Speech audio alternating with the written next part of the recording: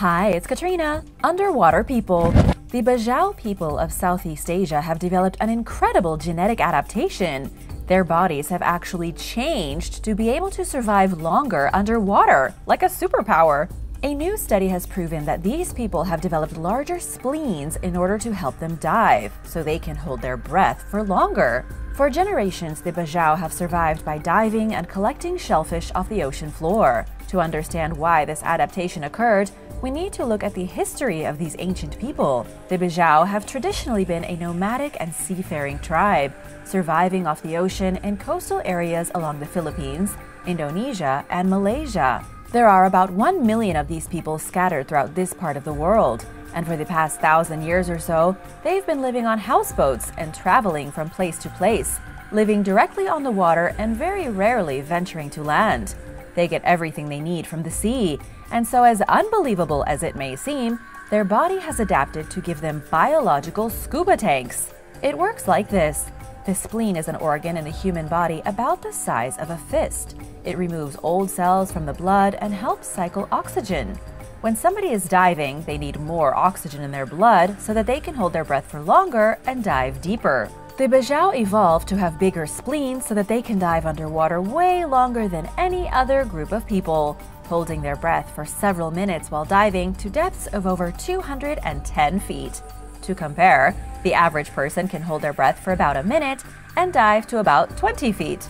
The big mystery right now is that scientists don't understand if this is some kind of mutation, a process of evolution, or just what exactly is happening to turn these humans practically into mermaids and mermen, merpeople. The reverse flow of time. As much as we like to believe we know things, the truth is that we know very little, especially when it comes to something like the flow of time. Most scientists will agree that time moves only forward, but then there are people like Albert Einstein who said that time is nothing but an illusion.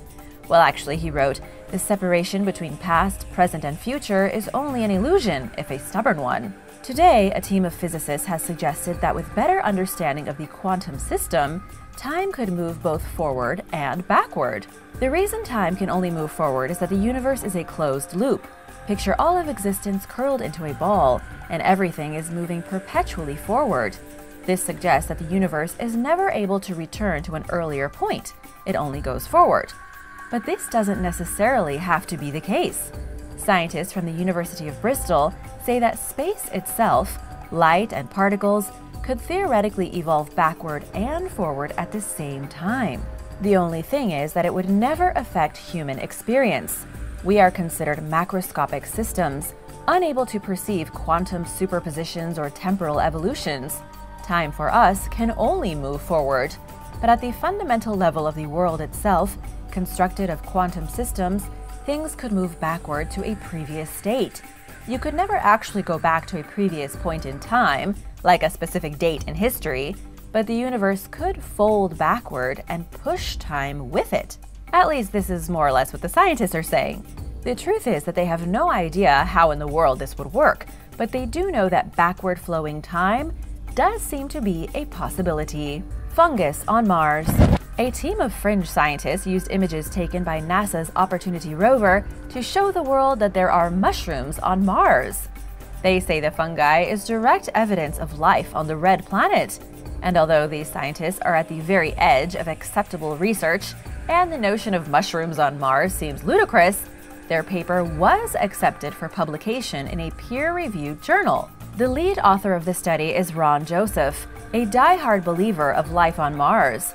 Even though the bulk of the scientific community disagrees with him, claiming he's actually working against science, he's loud enough to draw a lot of attention to his theories. But here's the deal with the mushrooms. What Joseph saw in the images are probably just a bunch of rocks that kind of look like mushrooms. Even right here on Earth, finding mushrooms is pretty difficult. For mushrooms to grow, they need to be in a very specific environment with the right temperature, the right amount of rainfall, and perfect humidity. On Mars, there is no rain or humidity. It's a barren desert devoid of life. Still, the issue is that the mushrooms in question are on another planet, and nobody can confirm or deny their existence. No scientist can prove one way or the other that mushrooms are growing on Mars. Venomous humans. If you've ever laid in bed at night and wondered why humans aren't venomous like rattlesnakes or scorpions, I have some good news for you. The truth is that humans could actually evolve to produce venom. Scientists with the Okinawa Institute of Science and Technology Graduate University looked at reptile and mammal DNA and discovered something shocking. It turns out both these classes of animals share the same genetic foundation needed to produce oral venom. What that means is that humans or elephants or what have you could become venomous in the future. It would take a few thousand years minimum, but it could definitely happen. The science is actually quite simple. When the team looked at the Taiwan Habu vipers, they compared certain genes that work alongside venom genes, things that protect cells from stress and regulate protein modification. When they cross examined these genes with those of mammals, they found that we have our own versions of these genes. Plus, salivary glands tissue is quite similar to snake venom glands. What this means is that we have the same ancient foundation one which could allow us to create venom in our saliva and spit at people. What scientists don't know is how exactly this could happen, or how long it would take. They think that under certain ecological conditions, mice would probably be the most likely to start creating toxic proteins in their saliva. There's actually a chance that in a couple thousand years, mice and rats might be venomous like Komodo dragons. If you could produce toxic venom, would you? Or would you rather just keep your ordinary saliva? Let me know your thoughts in the comments, and don't forget to subscribe if you haven't already. Crop circles. Crop circles are real. It's a phenomenon that has puzzled scientists, intrigued the population, and freaked people out for decades. And while scientists frequently chalk crop circles up as pranks or hoaxes, the truth is that they don't know everything. First of all, crop circles are almost always found in the United Kingdom, specifically in the southwest of England. The earliest crop circles have been dated back to 1678. There is a legend from folklore which says an English farmer told one of his workers that he would rather pay the devil to cut his oat field than give the man the fee he wanted. And so Satan came up and cut his grass, leaving bizarre patterns to disturb the farmer. But it wouldn't be until 300 years later in Australia in 1966 that a farmer in the town of Tully witnessed a flying saucer. He said the alien craft rose out of a swamp and flew off into the stars. When he went to investigate, he discovered a circular patch of flattened reeds and grass. Clearly, it had been made by an alien spaceship, and it was from this point on that crop circles became part of pop culture. Starting in the 1970s, simple circles began to form all throughout the English countryside. But the number of these strange circles and their complexity increased exponentially up until the 1990s, when the most elaborate were produced. These were crop circles illustrating insanely complicated mathematical equations. But by 2000, they had pretty much dropped off the map. We don't know if there was a rush of alien visitors for 30 years, if one group was responsible for the pranks, or if farmers were doing it themselves and simply got bored and stopped. What do you think crop circles are? Let me know in the comments below. The appendix. Scientists and doctors have wondered for many years why the appendix exists. Most think of it as a useless piece of evolution, kind of like the hind leg bones that some whales still have from their days of walking on land. But the appendix may just be on its way out. According to a report in the journal Case Reports in Surgery, one out of every 100,000 people are now being born without an appendix. That small, squiggly shaped sac near the large intestine could, in a few generations, be a thing of the past. But why does the appendix even exist? Over 1 in 20 people get appendicitis when their appendix becomes inflamed, and if they don't remove it, they can die. It seems redundant to have an organ that kills 1 out of 20 humans without emergency surgery. Charles Darwin believed the appendix was an organ from when our ancestors ate leaves, which helped them digest food. Over a century later, in 2007, William Parker from Duke University School of Medicine discovered that the appendix could serve as a reservoir for gut bacteria to help food digestion. It's also become clear that the appendix has a high concentration of lymphoid tissue, which helps the immune system, and it's also true that the appendix has been inside mammalian bodies for 80 million years. Clearly, the appendix is used for something, it's just that scientists still can't figure out the full importance of it. We also don't know why more and more people are being born without it, or why it frequently self destructs, and tries to kill its host. Devolution. Scientists have recently discovered that we have less DNA than our ancient ancestors, and they can't figure out why. In a new study, researchers found that human beings have been losing DNA ever since we evolved from apes. Even our most recent early human ancestors had substantially more genetic data than we do currently. This bizarre discovery has raised numerous questions, such as where did all that genetic information go? Why did it go in the first place? And what difference has it made? And unfortunately, scientists don't have the answer to any of these questions. The researchers were led by a professor named Evan Eichler from the Department of Genome Sciences at the University of Washington. He and his team sequenced the genomes of 236 different people from 125 different populations. The results showed that Homo sapiens as a whole have lost 40.7 million base pairs of DNA. This is over the past 13 million years.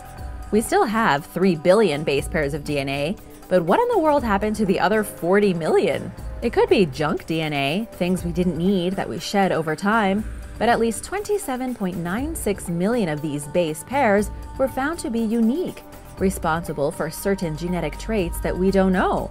So either we lost DNA that we didn't need, or as we move into the modern world, we are getting less advanced. Mother Meteor. One of the most challenging things that scientists have tried and failed to figure out is where exactly the building blocks of human life came from. We know that there are four main building blocks of DNA, which are responsible for all life on the planet. These four main building blocks are the genetic makeup for everything that lives and breathes. And where these building blocks are, life typically follows. Although scientists can't say for sure where these blocks came from, they have gotten some new information that's turning the scientific community on its head. The four main building blocks, adenine, thymine, cytosine, and guanine, have all been discovered in meteorites that impacted the Earth. In other words, the ingredients that make up every part of your body may have landed on the planet from outer space millions and millions of years ago. There is still a lot of information that needs to be analyzed, but right now, it really looks like our DNA came from outer space, specifically from chemical reactions inside interstellar molecular clouds. One resilient community. A rural community in Ireland survived just about every threat thrown at it for a solid 1,000 years. The community lived through the European famine, the Black Death, the Irish potato famine, the warm medieval climate anomaly, and the Little Ice Age. But what really caught the attention of scientists was just how well the people in this tiny community fared during various plagues. Very few deaths were ever reported, and the people here almost seemed untouched by the larger disasters crippling Europe. This community is seemingly immune to death. Researcher Gill Plunkett from Queen's University Belfast studied the site up in Ireland's Antrim Hills. It's deserted today, nothing but a bog with a few abandoned houses and forgotten pieces of old farming equipment. But for 1,000 years, up until the 20th century, the community always had people in it. The residents only left in the 1900s in order to seek better opportunities in the modern world outside. Gill did a bunch of tests. He studied pollen, looked at peat core samples, figured out what plants they grew over the millennium, but there was nothing to say why the community remained impervious to every disaster that crippled everywhere else in Ireland. The only thing scientists can think of involves the one way in which this community was different from the rest. You see, there were no landlords. Up until the later part of the 1800s, right before everyone left, those in the community were free. They could change their lifestyle anytime, grow whatever crops they wanted, abandon farming altogether and go hunting, and never had to pay rent. This is the only thing they did differently, and they beat all the plagues and all the famines, defeated only by modern civilization. Tabby's star. Tabby's star baffled astronomers for years. Scientists watched in disbelief and confusion as this star, located in the constellation Cygnus, became brighter, dimmer, and brighter again. Nobody could figure out why the star was fluctuating in its brightness. The thing is that stars are measured here on Earth by how bright they are, and the only reason their brightness dims is when a celestial object passes in front of them. But this was weird because it was happening so frequently, it was almost as if satellites were moving in front of Tabby's star. Astronomers even suggested some kind of alien megastructure in the star's solar system that makes random passes in front of it. Recently, scientists decided it wasn't an alien megastructure after all, but just cosmic dust. The mystery had been ongoing since 2011, completely stumping astronomers for a whole decade. And now, all these years later, they say it's nothing so big and complicated as an artificial mothership, just dust. Huge clouds of dust floating in front of the star. But of course, this could all just be a cover story for a very real alien megaship. The mysterious Sri Lankan Stargate. Sri Lanka's mysterious Stargate is located in the city of Anuradhapura. According to some, the Stargate is a dormant portal from a long lost time, one which supposedly has the power to send a person or another being spiraling through the universe. Of course, there is no real archaeological evidence for this, but that hasn't stopped the conspiracy theories from running wild. The city of Anuradhapura is an ancient wonder on its own, even without the Stargate. It was the heart of Sri Lanka's early Buddhist culture, established as a holy city in the Land of Kings back in 377 BC. That's over 2,000 years ago. The sacred city contains within its borders an urban park from days long past, about 40 acres in size. The park is surrounded by three gigantic Buddhist temples, and it's inside this temple park where the Stargate can be found, etched onto an ancient piece of stone. The name of the carving is Sakwala Chakraya, which translates to universe cycle. Archaeologists believe it might have been used as a star map or a primitive calendar. Others say the strange symbols and shapes within the circle are actually used to unlock the secrets of the universe and open the portal. Seeing as nobody's ever been able to open the portal in modern times, this may not be the case. It's still a major mystery, especially since nobody has any real clue what the function of the Sakwala Chakraya was. There are no historical records of it, and it's not mentioned in any ancient texts. Secret Underground World Underneath the crowded city streets of Beijing and China, there is an underground world, and it's home to about 1 million residents. It's a secret place built of concrete, which took shape back in the 1960s at the request of former President of the People's Republic of China, Mao Zedong. With the threat of the Cold War hovering over China's head, Mao decided to build a whole ton of concrete bunkers underneath Beijing to protect the most important people if a nuclear bomb fell.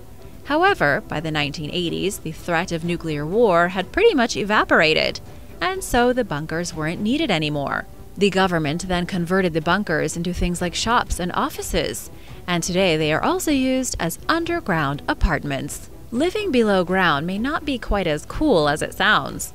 The secret city beneath Beijing is populated primarily by migrant workers, students, and people who can't afford the rising cost of living above ground in Beijing. The price of a subterranean apartment is about one third the cost of living above ground, although the conditions reflect the price. There's an estimated 1 million folks jammed into these underground bunkers like sardines in the dark. There are absolutely no foreigners allowed inside this secret place. But in December 2015, photographer Antonio Faccilongo slipped past the guards and took some photographs.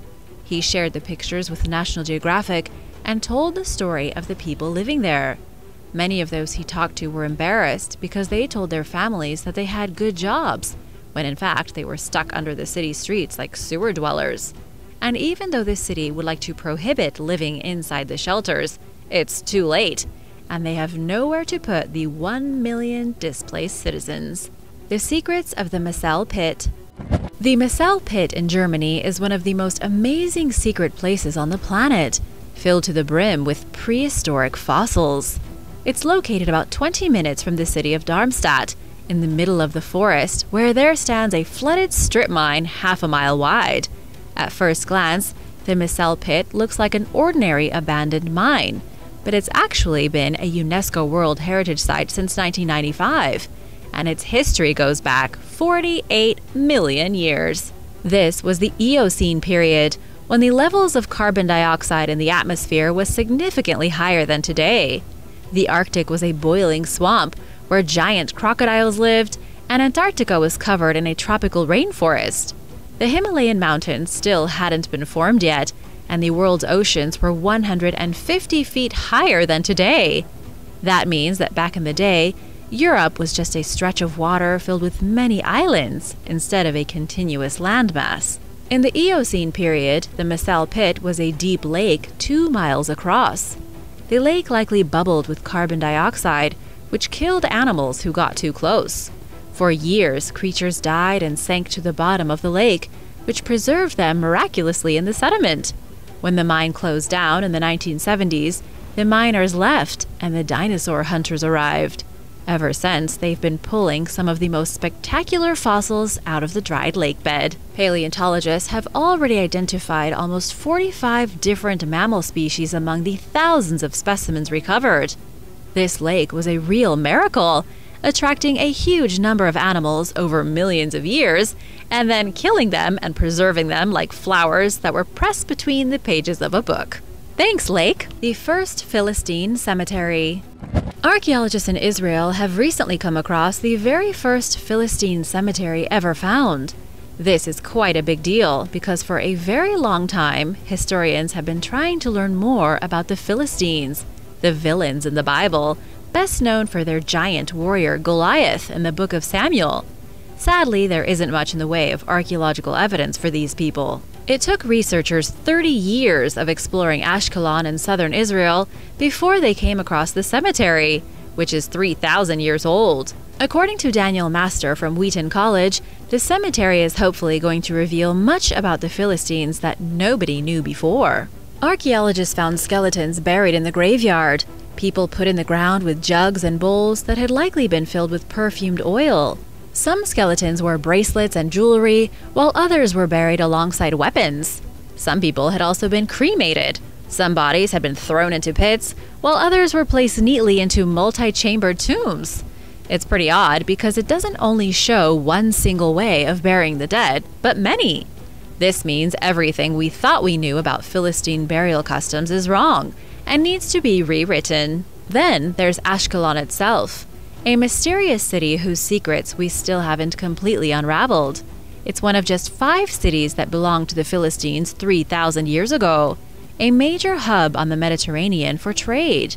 However, during the Crusades, the city was destroyed, and much of its ancient history was lost.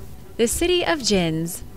Bahla Fort, located in the highlands of Jebel Akhdar in Oman, is a mysterious place steeped in legends of spells, black magic, and myth. Some call it the City of Jinns or the City of Magic, and people have been living here since roughly 500 BC.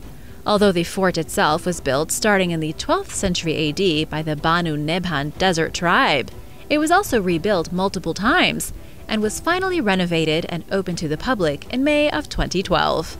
Omani locals believe the fortress is the epicenter of all paranormal activity in the country. There are multiple legends, like the one that says that 1,400 years ago, a man was stoned to death by the villagers for practicing wizardry. This dead wizard then turned into a jinn or a spirit and now haunts the city. There is also a tree growing in the citadel which supposedly bestows an untimely death upon any foreigner who touches it, as it had been tainted by yet another sorcerer. Any creepy story the villagers could think of, they passed it along. The tall walls and strong towers of Bahla Fort grew until most of the people living nearby simply left it alone to decay naturally. Do you believe in the existence of black magic? Let us know what you think in the comments below, and be sure to subscribe if you haven't already. Psychedelic Salt Mine 650 feet underneath Yekaterinburg in Russia is a place called the Psychedelic Salt Mines. The mines feature mind bending natural formations that formed millions of years ago. The walls are brightly colored in yellows and whites, reds and blues, with the colors swirling in and out of each other in a psychedelic mixture unlike anything else seen on Earth. The long and winding tunnels of the mine are like a free acid trip, like rivers of color had actually dried and then been preserved in the rock. In truth, that is kind of what happened. The unbelievable swirls of color are there thanks to the layers of mineral carnallite. It's totally natural and more than a bit trippy. The mine was originally used to harvest salt, but most of the operations have ceased, and now the miles and miles of twisting passageways are totally abandoned. However, nobody is allowed in without government permission, and so this is one secret place you probably won't be visiting. And besides, the tunnels are pitch black, and the air is full of tiny salt particles. These salt particles create a feeling in your throat like you're parched in the desert without any water. The secret throne of the Knights Templar.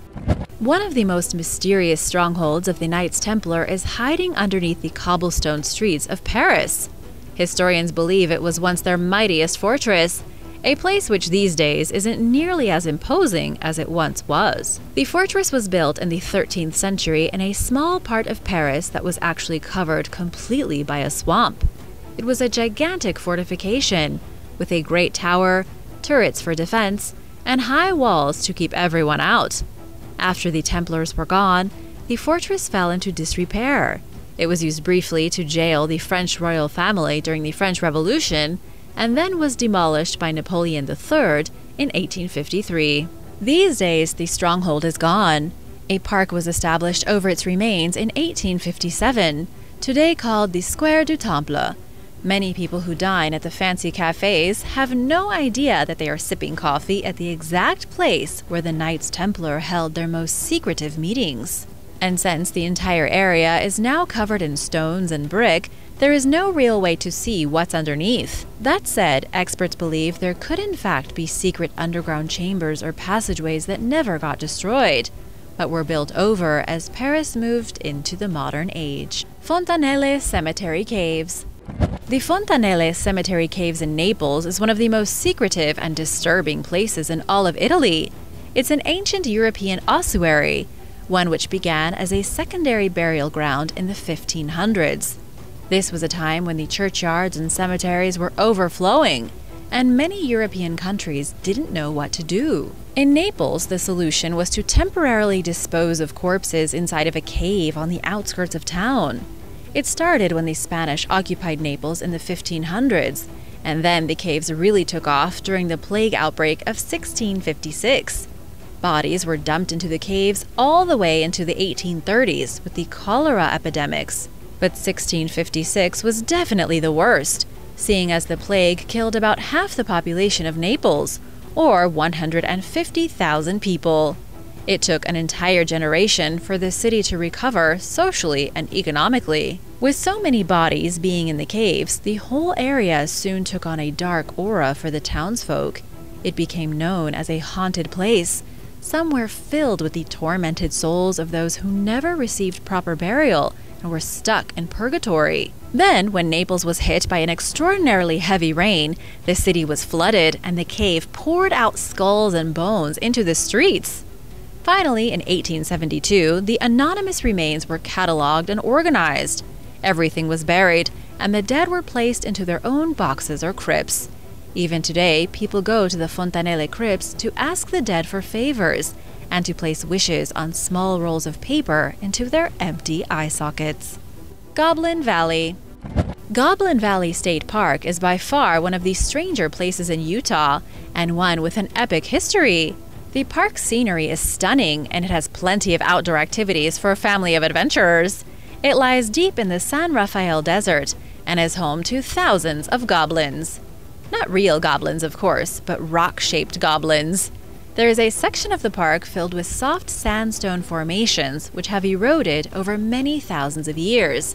The erosion has created squat, goblin looking rocks that look ominous in the dark, like an army of marching monsters. But in fact, these formations are called hoodoo rocks, and they're completely natural. But Goblin Valley State Park is more than just a collection of rocks. There is also evidence that Native American tribes lived here a very long time ago. There are pictographs and petroglyph panels here, which were left over from a variety of ancient cultures. The Paiute tribes made artwork here, as did the Ute and the Fremont. Secret Cave Chamber In Gibraltar, a mysterious cave chamber was sealed completely off by sand for about 40,000 years. This chamber is located deep in the back of the Vanguard Cave, and it had been lived in by Neanderthals prior to being sealed shut. At least that's according to Clive Finlayson from the Gibraltar National Museum, who was studying the cave when he came across the lost chamber. It was about 43 feet long, filled with eerie stalactites hanging from the ceiling. Clive and his team of scientists were also surprised to discover the bones and ancient remains of animals, such as hyenas and griffon vultures, as well as gigantic sea snails called whelk. The researchers also discovered a tooth from a four year old Neanderthal in this same cave a few years ago, and they think the child was a victim of a hyena attack. But the snails proved significantly harder to place because hyenas didn't eat snails and they wouldn't have carried something from the sea all the way into a dark cave chamber. That was something only a Neanderthal would have done. Researchers believe Neanderthals had lived inside the cave over 40,000 years ago. They wandered out in the daytime to collect snails, then retreated into the safety and cozy darkness of the secret cavern, like the womb of the earth. The Kachina Prophecy in Hopi mythology, the blue star Kachina is a spirit that will supposedly signify the coming of the beginning of the new world. It will appear in the sky as a bright blue star and will be the ninth and final sign before the apocalypse. The Kachina prophecy is almost like the prophecy of the end of days we see in the Bible, in the book of Revelation. The Hopi Native Americans lived mostly in the southwestern United States prior to the invasion of America by the Europeans. These days, there are an estimated 19,000 Hopi left in the country, living primarily in Arizona on the Hopi Reservation. They have an extraordinary belief system, and even though the Hopi may have changed a lot over the past few hundred years, their original legends live on. Frank Waters, who studied Hopi legends extensively, reported many of his findings in the mid 1900s. The Hopi believed in a great creator named Taiowa. It was said that at the beginning of time, nine universes were created two for the gods and seven for the other forms of life. The first of the three worlds have already been inhabited and destroyed because they grew wicked and corrupt. Each time one of the worlds is destroyed, the few faithful Hopi are saved and then placed in the next world to try again. The Hopi allegedly believe that we are currently living in the fourth world and that it's only a matter of time before it too is destroyed by humanity's own darkness. This destruction will be heralded by the blue star Kachina it will appear in the sky as a bright blue star, and the day of purification will begin. Sheep and trees. For centuries, people believed that lambs grew on trees. In the Jewish Talmud, written in 436 AD, there is mention of a plant like animal in the form of a lamb. From this stem was grown a living and breathing baby sheep, just like a gourd attached to a long stalk growing out of the dirt. These creatures supposedly grew in the land of Tartary, where Turkey is today.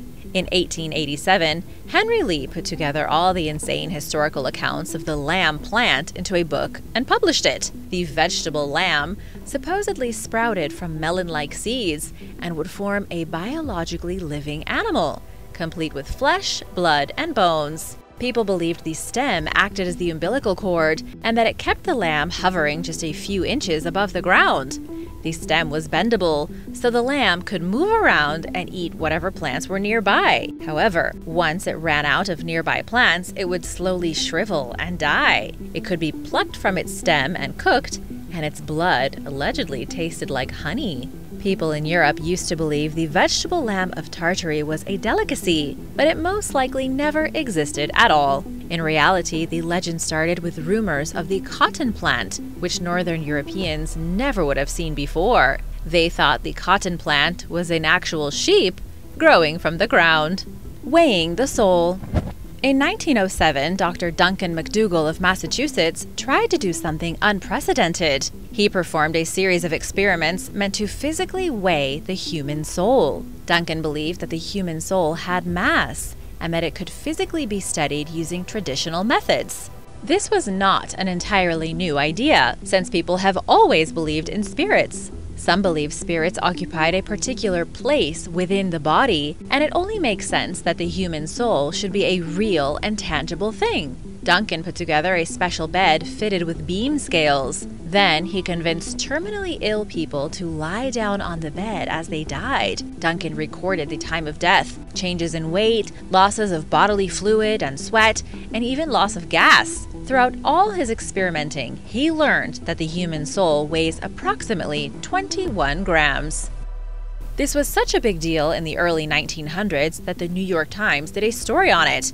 However, it wasn't a very nice story, and Dr. Duncan was utterly ripped apart by other scientists who denounced him as a fraud. To this day, nobody's ever been able to figure out if the human soul really does have any weight to it.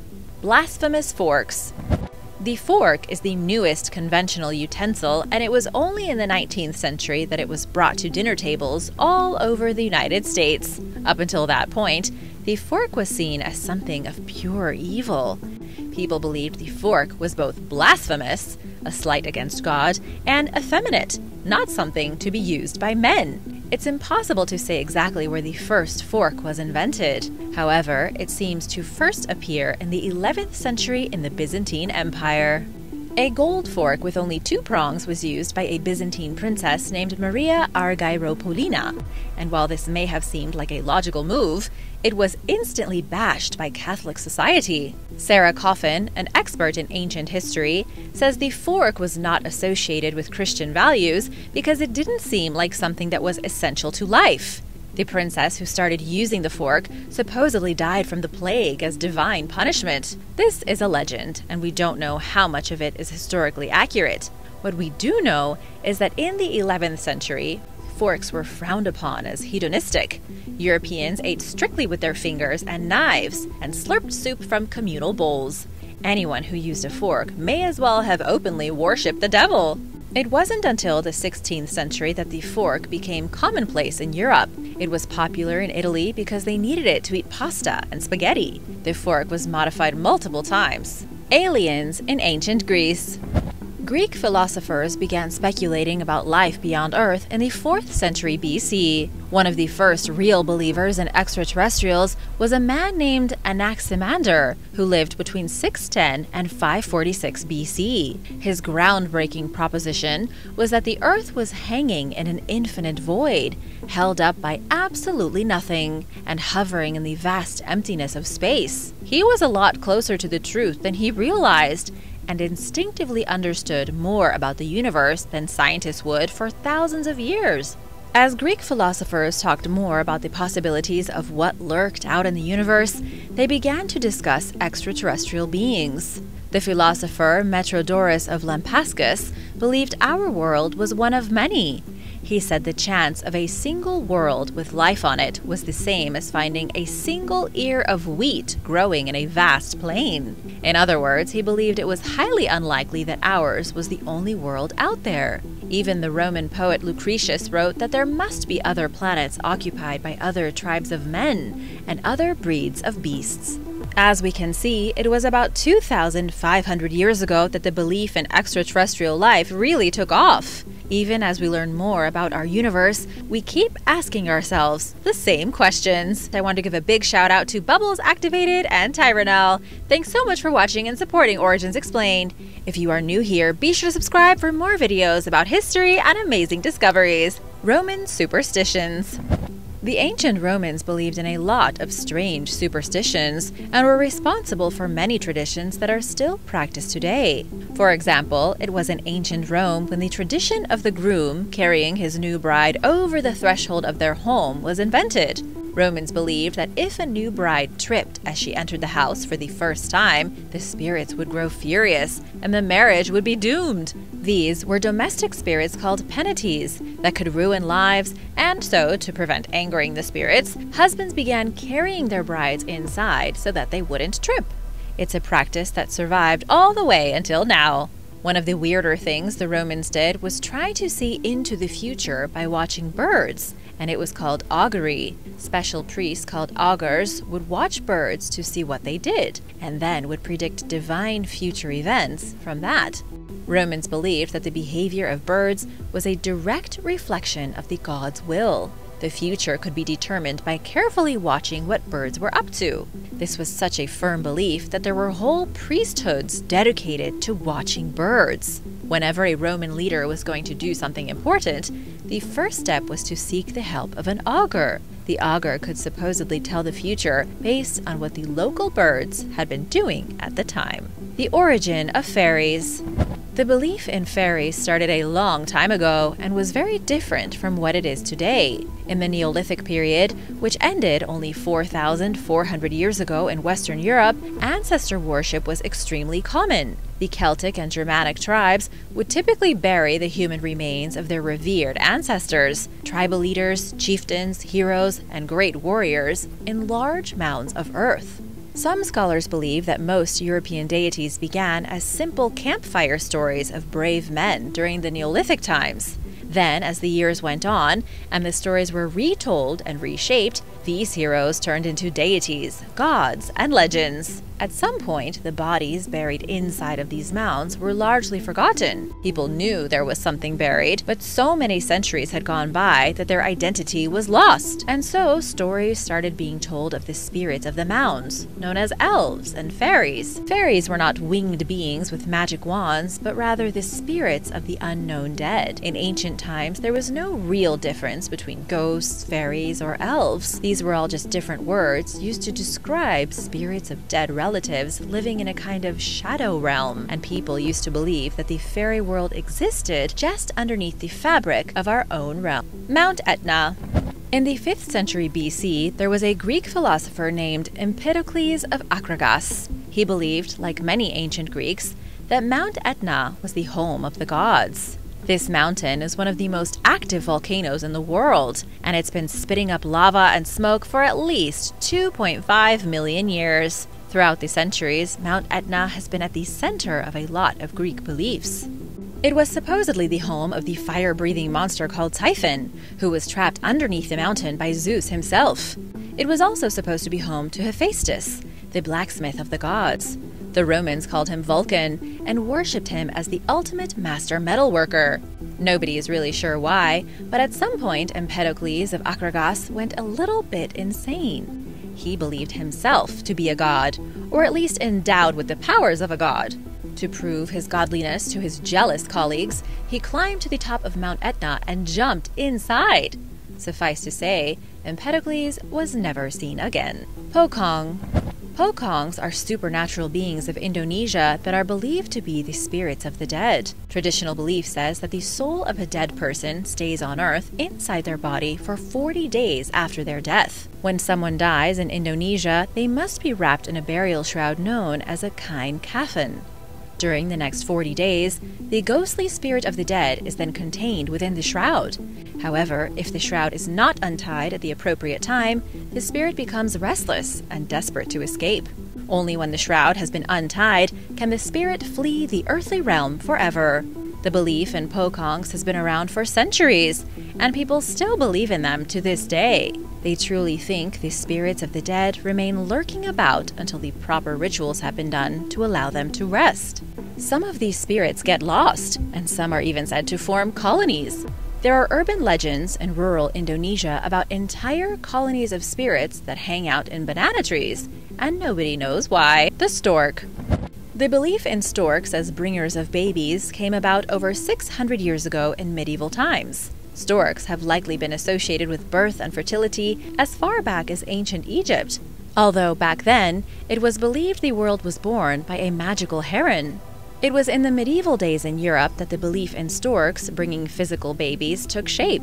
During pagan times in Germany and Norway, many couples got married during the annual summer solstice. Summer was the perfect time to get married, so that was typically when babies would start baking in the proverbial oven. Nine months later, in the midst of spring, most of these babies would be born. Coincidentally, storks had a very similar schedule. In the summer, storks began their annual migration. They flew from Europe to Africa and then returned exactly nine months later. This is why people began associating the return of the storks with the baby boom of spring. Rachel Warren Chadd, who helped write a book on the subject, says the story then grew in complexity. The stork in Norse mythology became a symbol for family values and purity, and as the world became more Christianized and certain subjects became taboo, the storks continued to serve a purpose.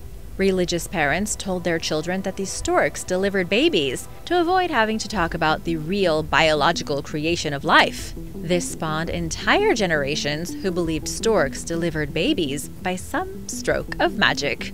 Thanks for watching! How much do you think your soul weighs? Let me know in the comments below and be sure to hit that subscribe button and I'll see you soon. Bye!